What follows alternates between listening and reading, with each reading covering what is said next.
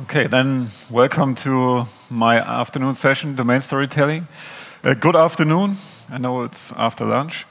And the first question I have is um, Does anybody understand German here?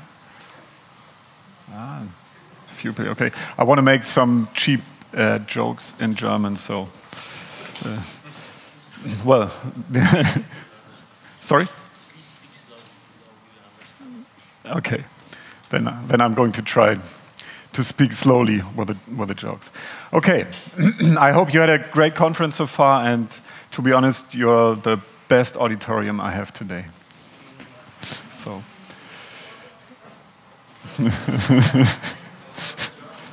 okay, and as the session is called domain storytelling, I like to start with a little story.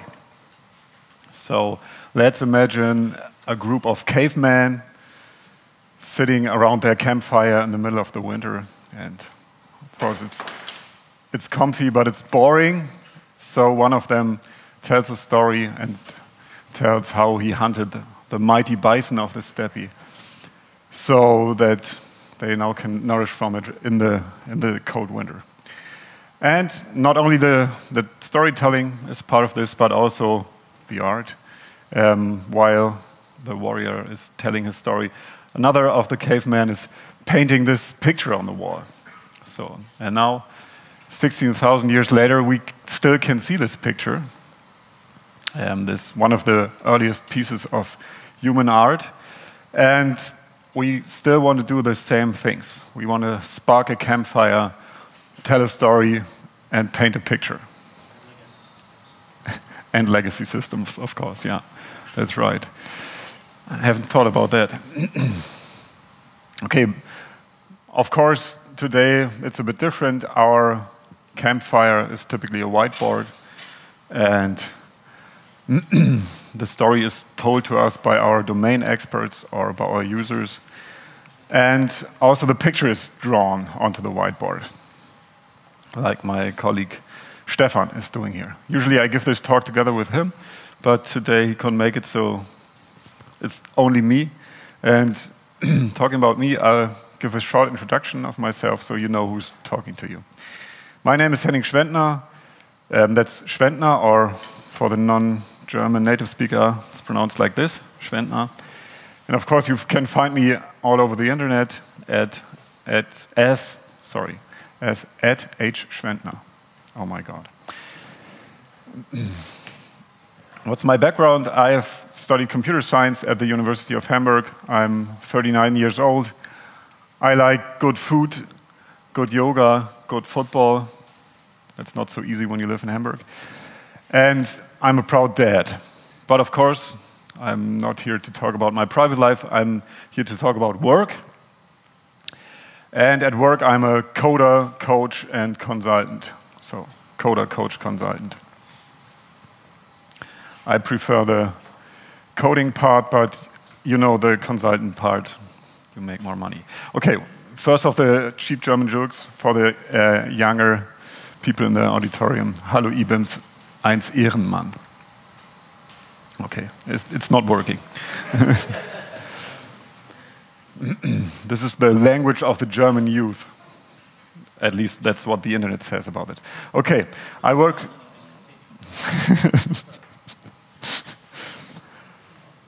Okay, I'm working for a company in Hamburg. It's called WPS, or Workplace Solution. That's Whiskey Papa Sierra. Whiskey Papa Sierra. And we're a company of about 100 people doing um, software development and consulting. Maybe you have heard about us as the people with a touch table. And uh, important fact, we're opening a new office in Berlin this year, so if you're looking for a new job, um, speak to me afterwards. Okay, but back to the stories. I want to give you another story, a story from a domain, so we can see how it works um, with real stories uh, and real domains. And this story goes like this. We have Bob, and Bob wants to reduce his carbon footprint and wants to buy a new electrical car. But he has one problem he has no money. Okay, can he get a car for this anyway? First answer, no, of course not. You should laugh here. So that was the idea. Okay, but second answer, he goes to his car seller, and the car seller tells him, No problem, you don't have money, but we have money, and what we do is we will buy the car for you and then rent it to you for a monthly installment, for a monthly payment. That is called leasing. Okay. That's our domain, but how do we design a program for that? Yeah, to design a program for that, we have to look into the process more deeply. So we have Bob, our customer, and he tells his wish for a car to our salesperson. And the salesperson then calculates the installment for the contract, so the monthly payment the customer would have to pay for the car. Gesundheit. And then the customer signs the contract if he's okay with the contract and the installment. And now, we're not done yet, um, as you would think naively, because the salesperson has to pass on the contract to a so called risk manager, because the risk manager has to check the risk. And the risk manager checks the credit rating for that. So if the credit rating is good, then the risk is low, and then we can make the contract. And he calculates the resale value for the car. So that means if the customer cannot pay his or her um, installments, then we can always resell the car for this resale value. Okay, and let's assume the credit rating is good and the resale value is good, and we want to make the, the contract, then the risk manager votes the contract. So he says, yes, we want, want to do this business. And after that, the salesperson can then give the car to the customer. Of course, in real life, there are other things happening, but they didn't fit onto the slide, and I think that's enough for what I want to tell you here. So, what we can see here is a domain story. So, what's a domain story? A domain story is a, a picture of what we are told by our domain experts. That's why we call it a domain story, because we let our domain experts tell us their story and then we record it in this graphical notation. Let's look more deeply into this. How is domain storytelling working? So, the first and important thing is that we have the right people in the room. So, we want to talk to the right people. We want to talk to our domain experts. So, it's always good if we can get Chuck Norris but if we can't get Chuck, then we need people that are really doing the work, that really understand what's happening. And we let them tell us their story. So, best, of course, if it's not a fairy tale. So, we want to know what's really happening in the domain. Only if we know what's really happening, we can help them with our software.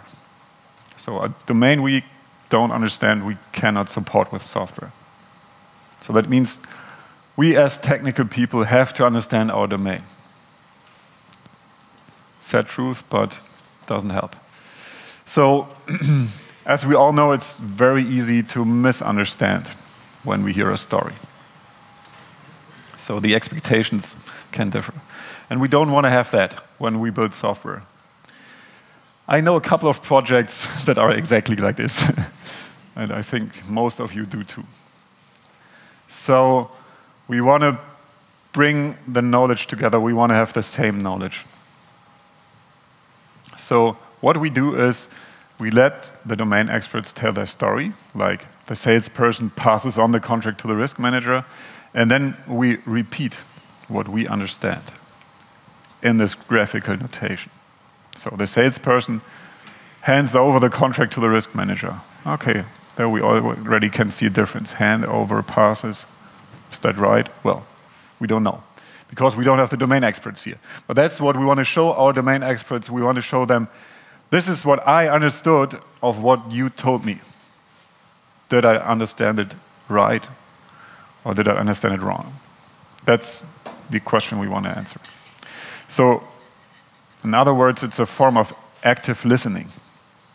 Active listening is not only listening, but also repeating what I understood.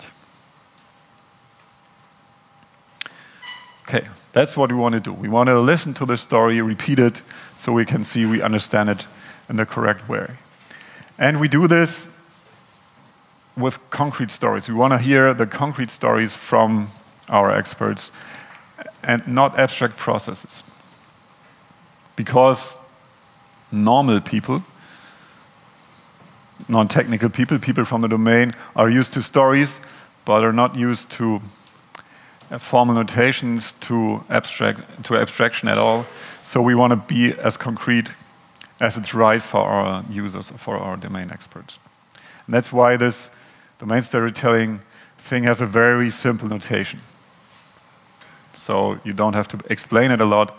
It's just basically two icons and one arrow. That's it. We have these actors that are the people that are doing things. We have the work objects, the things they are working with. And then we have one kind of arrow that's the activity, what the actor is doing with the work object. So, example, like we have seen in the story before, we have an actor, the risk manager, we have a work item, the contract, and we have an activity, votes. So what we can do now is that we use different icons for the actors and the work objects. For example, we can use for the actors a person or a group of persons or an IT system or whatever we want to do with them. We can put a hat on their head or a tie around the neck so we can sh show that's a boss or something like that. Or use different colors. So we, it's easy when we look at the, at the picture that we can understand what's meant there. And the same is true for the work objects. There also we can use different icons like a dollar sign here for the installment or a car sign for the car, of course. Since very often our work objects are documents, like down here, we sometimes don't use document, document, document, but other things like the medium this is transported on. Like here it's um, passed on the phone or something like that. Okay, so a very basic, very simple pictographic language, actors, work objects, activities, and sequence numbers, so we have the time in our pictures. And there's no, as you might have noticed, no if, no switch, no or, things like that. Because that's how we think, programmers think, but that's not like normal people think.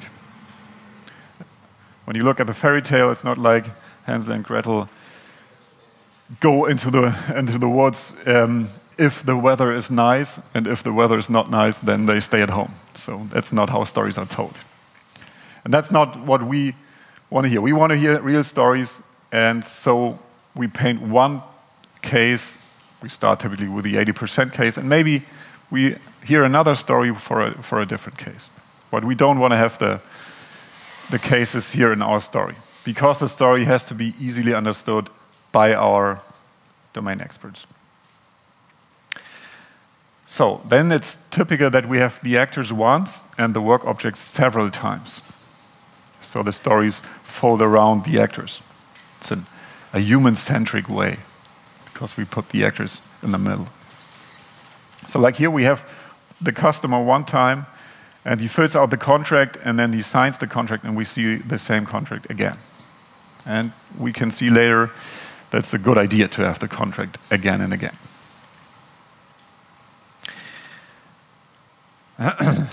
and to record a story, we put sentence for sentence into the picture. So we start with the first step, the customer tells his wish for a car to the salesperson, and the second step, the salesperson calculates the installment for the contract. With these sequence numbers, we get the, the time dimension into the picture.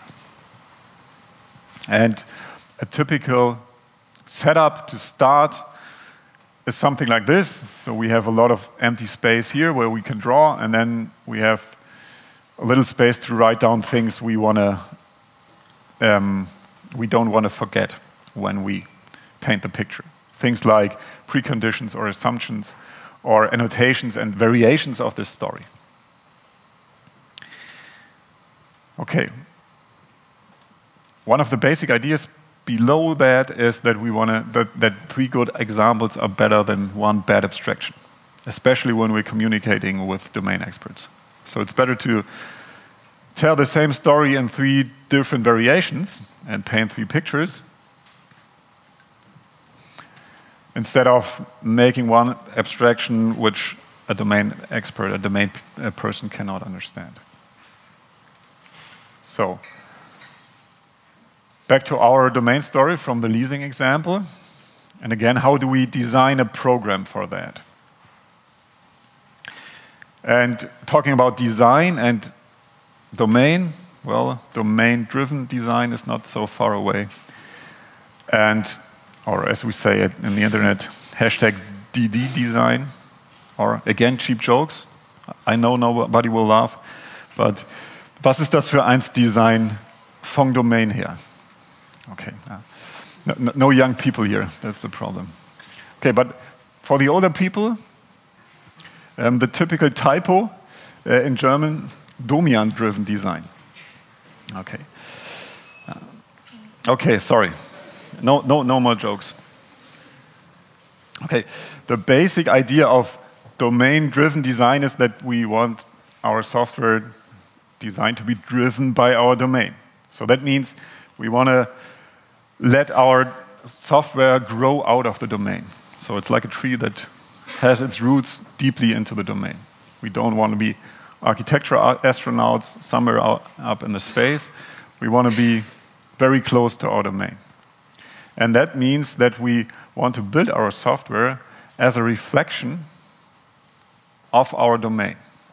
So we want to see what are the different subdomains, the different parts of our domain, and we want to build different software modules out of it. We want to see what are the work items our users are working with. We want to put them into the software. We want to see what actions are done with them, which language is used.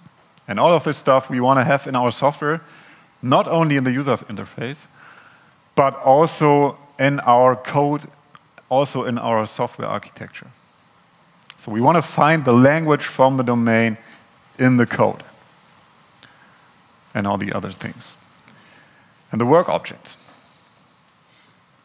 the items our users are working with, we want to have in the software architecture. What we're doing then is building a model. So when we're programming, when we're building a software for a domain, we're building a domain model. We're modeling the domain. Okay, more concrete, what does this mean? When we look at our domain story, then we can see a central work item we have is the contract the leasing contract.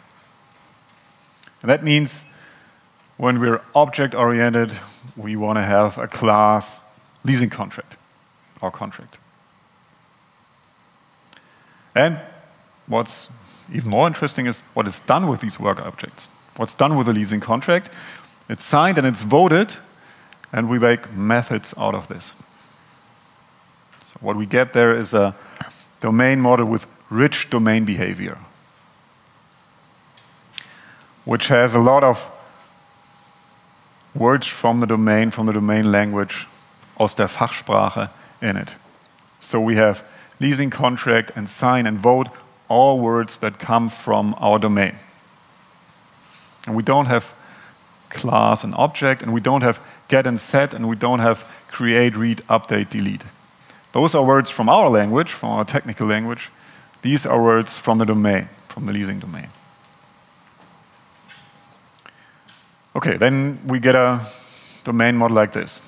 That's great, rich domain behavior, everything fine. The typical idea of object orientation. We take the objects from the world and put them into the computer. Basic idea. So what's happening when we let this domain model grow? When we look deeper into our leasing domain, then you can see everywhere, everything we're doing in leasing is, of course, happening in the leasing contract. So the contract class will grow and grow and grow and grow. So we don't just want to sign and vote our contract, we want to extend it, we want to terminate it, maybe want to sell it to a refinancer, and all this stuff. And there will be lots of methods, lots of code in our leasing contract class. And it will get bigger and bigger. And that may be a problem.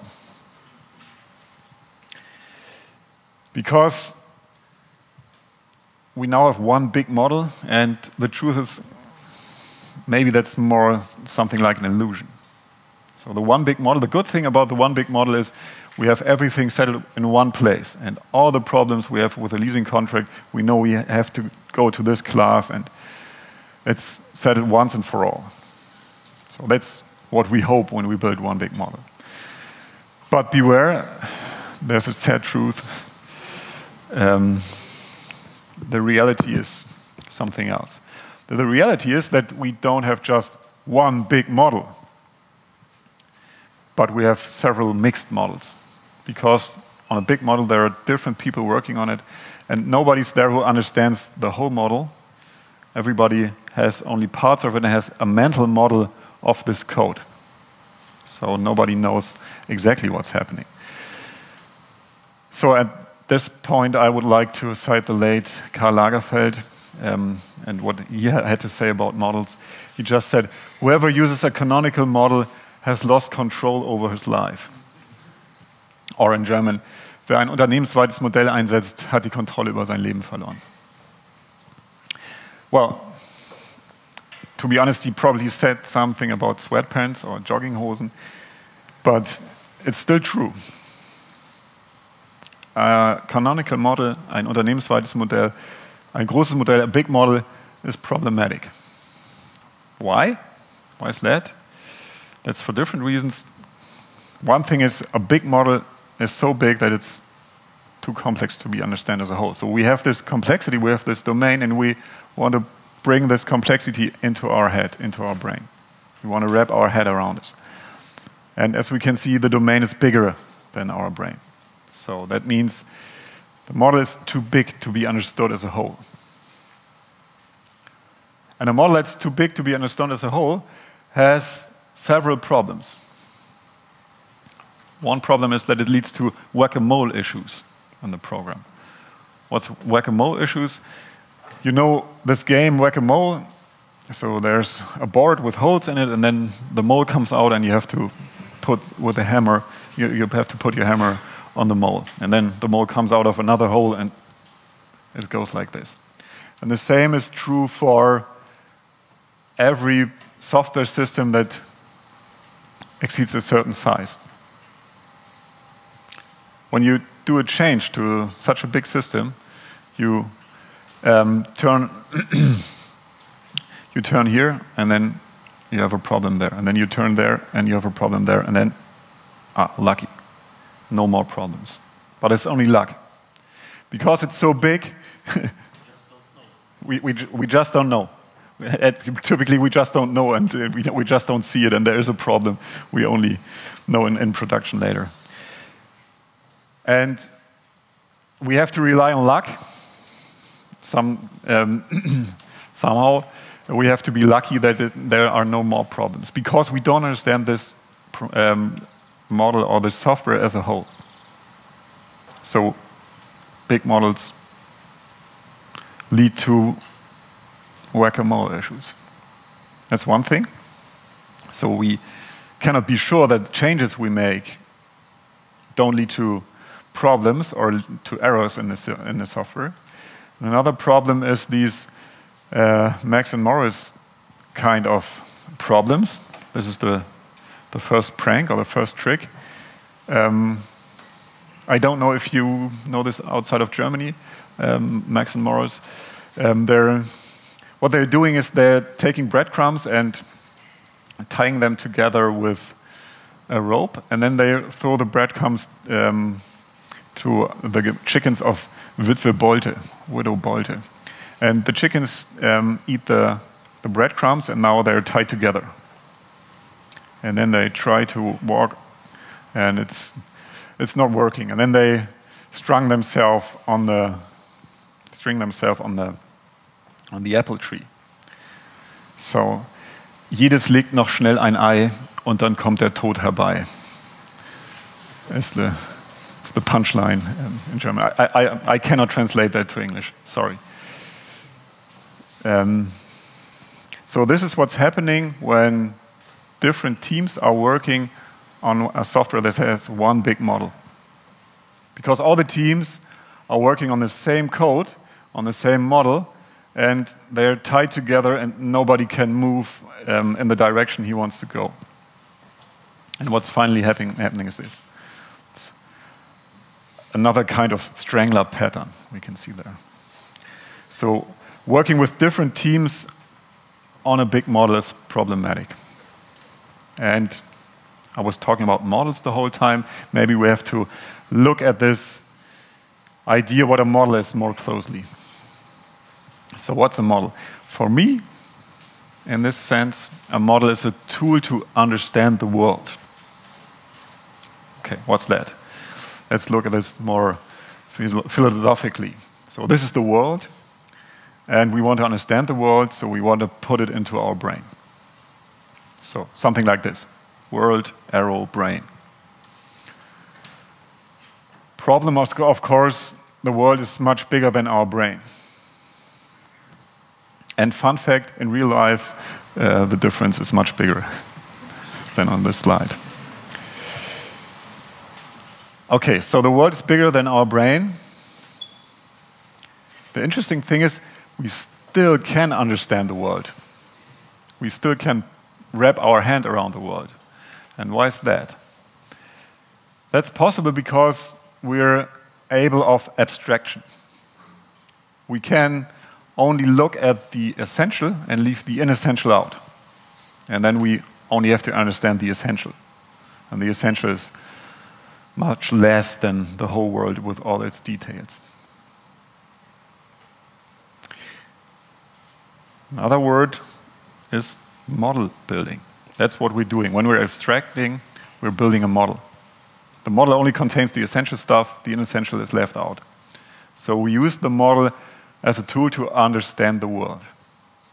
And that means good model, models are small, or are not smaller that, than that we can understand them as a whole. That means every model has a natural maximum size. Okay. Very good, but still, the question stays what is the essential? So it's easy to say, oh, we just want to abstract, we take the essential out of the world, leave the inessential out. But what is the essential? And as I said, for starters, I'm a consultant, so you know my answer to every question. That is, it depends, of course. It, es kommt drauf an. And it depends on what? It depends on the context. It depends on the context what is essential and what's not essential. In different contexts, different things are essential or are inessential. And that means for different contexts, we want to have different models because we want to have small models and we want to use different essential things. And that's what we're doing with the world. We build different models for the world. For example, this globe. The globe is used in a context where we want to show that the world is turning. Other models for the world are maps. And in these maps, like this one, we don't show that the world is turning. It's not essential in that context. We're not interested in that detail of the world. We're interested in other things. We want to see where the continents are and what their names are. Interesting is especially this thing here. Atlas, we call it in German. I don't know if it's called Atlas in, in English. So it's a book which is a collection of maps.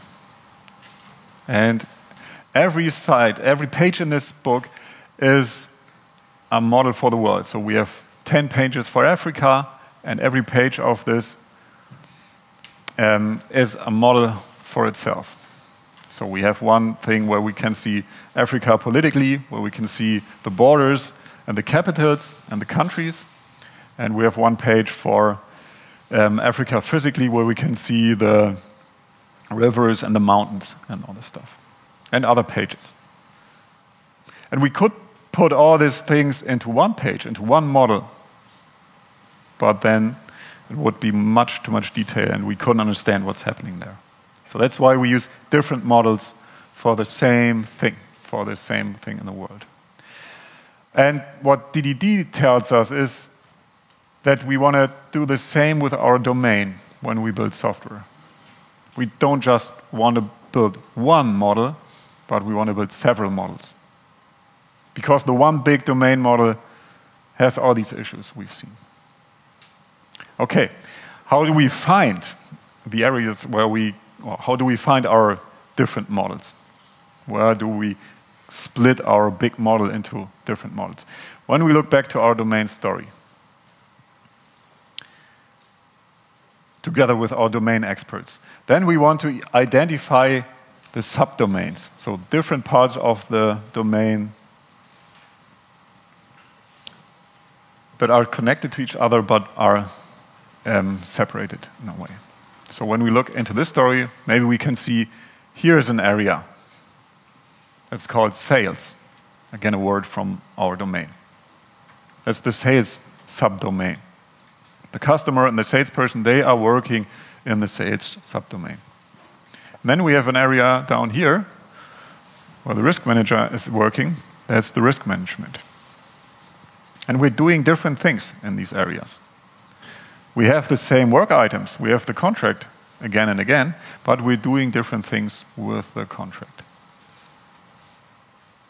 And in this case, also different actors are working there. That's not a must. Okay, those are the subdomains. Um, we can find them in the domain. They are there if we build software or not. But when we build software, we want to take these subdomains and let them drive us, that's why it's called domain driven, to find our software modules. So, okay, sorry. So these are our subdomains, and what, what we want to find is parts where we can support with software. So in the sales subdomain, we can see this is maybe something where we can build software for, or where we want to build software. The calculation of the installment for the contract and the signing of the contract. This stuff here, telling the wish to the customer, uh, of the customer to the salesperson and giving the card to the customer, this will still happen outside of the software. So we build a software module that comes from the subdomain, and typically this is smaller than the subdomain because we still have humans and they still have interaction with each other. And down here, the risk management, there we can see how we can support almost everything with software. So the red things, those are the subdomains. That's something that comes from the domain. That's something that's already there. That's part of the problem. And the blue frames, that's what we build. That's where we come in, where we build software that's solution. So we build two modules here, one sales module and one risk management module. Two domain models, one sales model, one risk management model. So we split up the monolithic big domain model. And build several models out of it. So we don't want to have this one big class contract with sign and vote in it but we want to have at least two classes. Two classes with the same name, leasing contract, with different methods, because we're doing different things with them. So one class, leasing contract, where we sign, one class leasing contract where we vote. So we take the same thing from reality and build not only one model, but build different models. Same contract in the real world, different models in the software. Because real world domain is complicated, our domain models we want to have simple. Because then we can work with them. So, when we put the borders around them, then we can see this, the, the frames from our domain story, the sales and the risk management thing. And in DDD, we call them bounded context. Bounded because we have a boundary around them, and context because that's the context where a domain model is living in. Who has heard the word bounded context? Most of you. Okay, great. So this is what we get. A sales bounded context, a risk management bounded context. Two models of the same thing. And we do this with the whole domain, and then we cut the whole domain into pieces, the whole cow into several pieces. And there are different possibilities to implement bounded contexts. So when we're on the JVM, we can use the packages mechanism, or we can use the jigsaw modules if we have Java 9 on Euro. They can help us to separate our models. When we're in .NET, we can use DLLs and this stuff, but of course, this contrast is called microXchg, so um, another possibility is to put them into different microservices or self-contained systems or verticals. Um, I don't want to fight if that's the same or if there are subtle differences between these um, words, but all of them are interesting when we think about these model things because when we look at the word microservices, we can see we want to have them micro, we want to have them small. The models should be small to be understandable. When we see self contained systems, then we can see that our bounded context should not only be divided on the domain layer, but also the,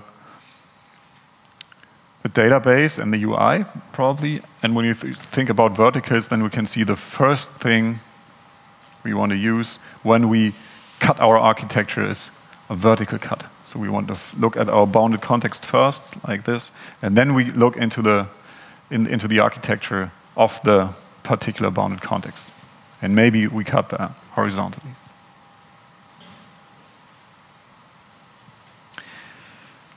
Okay. Um, how do we find these different bounded contexts in the domain story? So here we can see a couple of indicators. There are only indicators because there are no recipes or, or stuff. So um, it's a gut feeling in the end. So one indicator is one-way information flow. That's something that we can see here. The sales person passes on the contract to the risk manager. There we can see we have a one-way information flow. That can be an indicator that there's a boundary between two contexts. More interesting is the second thing is different use of the same thing. So we have a contract here and we have a contract over there and we're doing different things with it. Here we calculate an installment and we sign it. Here we vote it. And those are different kinds of animals we're doing with this thing. It's also an indicator that we have a context boundary. Difference in language. That's a hard one.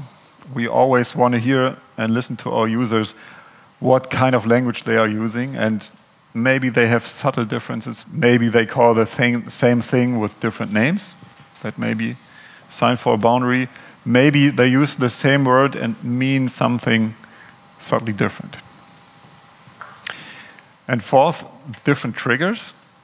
Um, what we can see here on the left in the sales is this process or this part of the process is triggered whenever the customer comes and tells a wish for the car. And this process here is only triggered when the salesperson passes on a contract. That can be asynchronously, and that happens only if the customer has um, signed the contract. So this part maybe happens a lot often. So we calculate a lot of different contracts, but they never pass on to the risk management. Another indicator. And of course, in the end, the most important thing is ask your domain experts. We want to discuss with our domain experts where are the subdomains. We want to find it out together with them. And typically not with just one expert from a domain, but with experts from different um, departments, from different areas of, of our domain. Okay, so this is what we're doing. We're drawing our domain in one story, typically in several stories, and then we try to draw frames, to find the subdomains, to find the bounded contexts. And these bounded contexts then are candidates to become our microservices later. Okay, this is easier when you're in the green field, of course, but most of us aren't, I assume. What's the right thing to do in the brown field when we already have a monolith, when we already have the big ball of mud? So, what I think, um, or what's working for me when I'm working with clients is something like this. So we put the monolith aside for a moment and start with the knowledge we have today. So we draw a couple of domain stories to find out what's happening in the domain. And then we draw a context map. So that's a map where we put all the bounded context in we found from the domain stories, like we would do when we were starting on a green field. So we know this is what, how we would build the system if we started today. And then, of course, we take our system and analyze that and see where's the architecture, what kind of architecture do we have in the old system. And then we want to move this architecture more closely to the, to the right, um, um, where we have our bound concepts like context like we would have them today. So and then um, it's typically a good idea to start with a so-called supporting domain not start with the most important part of your system and cut it out of the monolith, but take one of the less important parts so you can learn how to extract that part for your particular situation. But after that, when you have done that successfully, when you know how to do it, then you will go at the core or one of the cores of the core domains because there is where you get most of the use out when you get the core domain out of your system. Okay, um, looking at the time, I can tell you a bit more about um, details of domain storytellers. Uh, domain storytelling, there are different modes how you can use it. There's the co-op mode. That's, uh, of course, more fun when you're standing together around um, a whiteboard or a pinboard or something like that, and you can draw on it together. So you can picture see here how that. The other mode is moderated. That's a group of people is sitting together, and one guy is in the front and painting it, like um, we had it here, like Stefan here. So he's listening to the users and let them, lets them tell their story and paints it. And when we look at the tools, there are different tools we can use. I've shown you PowerPoint here. That's not so well suited for workshops, of course. But for documentation, maybe you want to use it. Like here, um, I like to use a whiteboard in combination with sticky notes because then you can move around the sticky notes and you can refactor easily what we're doing here. Sorry? Um, how about you? How about UML? Yeah. Yeah. Um, um, I think typically you start with something like this and then you can go to something like UML. Because UML is, for most diagram types of, for, of UML, are made for communication between developers, from developer to developer. This is a means of communication between domain expert and developer. So use case diagrams is something that um, you can start with, and then for every use case, you, you draw a dom um, domain story, something like that. And then, as we have seen earlier, you can extract a, a class diagram out of this. So another thing when we're, when we're working with these whiteboards, um, and you don't have stickies, or you, you don't like the stickies, then you can use this whiteboard kit. That's interesting. Those are paintable magnets, and that you also can move them around. Okay more pictures. Um, when you have something like this, that's also great. These um, big smartboards, they're a lot of fun because you can draw everything on it and you can save them easily afterwards. Problem is, they're pretty expensive, especially this, this Microsoft Surface, that's the best thing I've used, pretty expensive. Okay, when you're more into something electronic and you want to use a tool then you can find something here. It's called the domain story modeler. Um, maybe I can show it.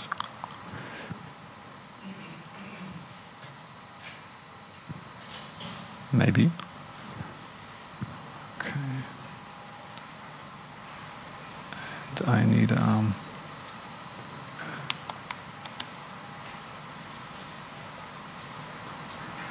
for that. No. Um, it's open source on GitHub, but we as a company host something like this, and there we can use it. So, very simple tool. We have the customer, and he tells his wish for a car to the salesperson. And so on. And the salesperson is doing something with the contract. Very easy JavaScript um, based on, on BPMN.io. So Bernd has left the room. Uh, okay, it's based on, on um, BPMN.io, and the idea is that you can run it in any browser and then upload and download the stuff. Um, it's a nice tool, but as all tools, um, it will, you cannot be as creative than as you can be on a whiteboard. You don't have the icons you want to draw yourself and all this stuff. Okay. Sorry.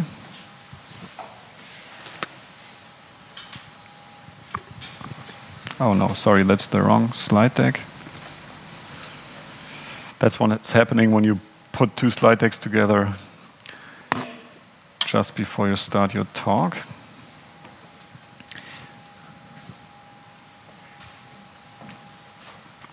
Sorry. Yeah, there you can find it when you want to run it on your own computer. Okay. Yeah, if we had the time, um, then we would do it now, but we don't have it. So um, I stick to the further reading. If you want to look more closely into this stuff, um, if you're interested in a real world example and this leasing stuff, how it's implemented in Java, then you might want to look into the Leasing Ninja. Um, you will find nothing under this domain now, but um, I will push it to GitHub soon. so um, leasingninja.io is, I, I, I, already own the domain. And, okay. And I will uh, push it before Christmas. I don't know which year.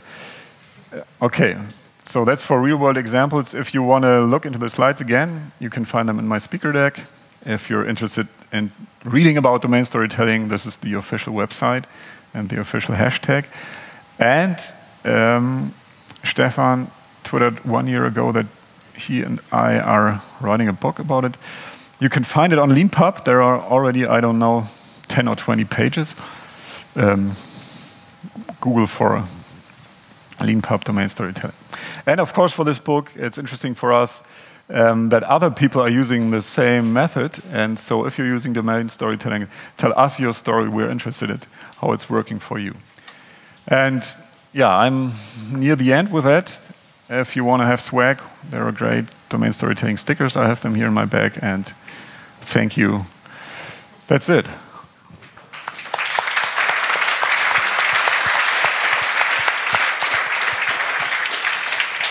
And I, and I think we have time for one or two questions. If they are. The, the micro's coming. Hey, um, I, I, think the biggest problem is that most of the time you don't have the one person that can tell the story. So, what do you do about that problem then? Yeah, when you have that problem, um, you have a real problem, then any method uh, will not help you. so, um, if you don't have access to real domain knowledge, then you're doomed to build a failing software, if you ask me. So, um, what are you doing about this? Um, that's more maybe more a, a topic of um, politics and soft skills. You have to find out who the right persons are and how to get them into your um, uh, how to get into your meetings and how to get their time. Um, one thing that helps when using methods like domain storytelling or other things is that when you have the people for the first time with you and they see what you're doing, they see, okay, there's somebody who's actually interested in what I'm doing. And um, what you can tell people is the truth that you want to support them with their work, and they see, ah, okay, this is this is a different kind of software development. Now people are interested in what I'm doing. Now people are interested in helping me me out. So typically, when you start with it, um, you you get it into a better flow. Okay. Can we get the microphone? No. Hi. Um, did you ever uh, applied uh, to domain storytelling with your uh, customers, um, also with event storming? Yeah, thank you. I was hoping for this question. Um, what about event storming? So, um, what is event storming? Event storming is another great tool of um, communicating directly with your domain experts. The idea is that you have um, thousands of sticky notes and put them onto a wall. And um, I love the tool very much, and I use it a lot. And the question is, of course, is it like this? So this was the meme of the year 2018. Um, and the truth is, no, it's more like this. Um, we have two great tools and can't decide which one to use. And um, what I what, what happens to me um, all the time is that I start with one tool and it works great, and then I go on with that tool and it doesn't work out anymore. And then it's good to have one, then more tool in your box. So um, it's not clear, not clear yet when to use which tools, and those are not the only ones. There are other things like user story mapping um, and so on. That's also interesting. Um, but it's important that you can get a different grip on the same um, domain. So if you're interested in this kind of stuff, um, a couple of colleagues and I are planning a so-called collaborative modeling camp um, where we want to look at all these different tools and, and bring them together.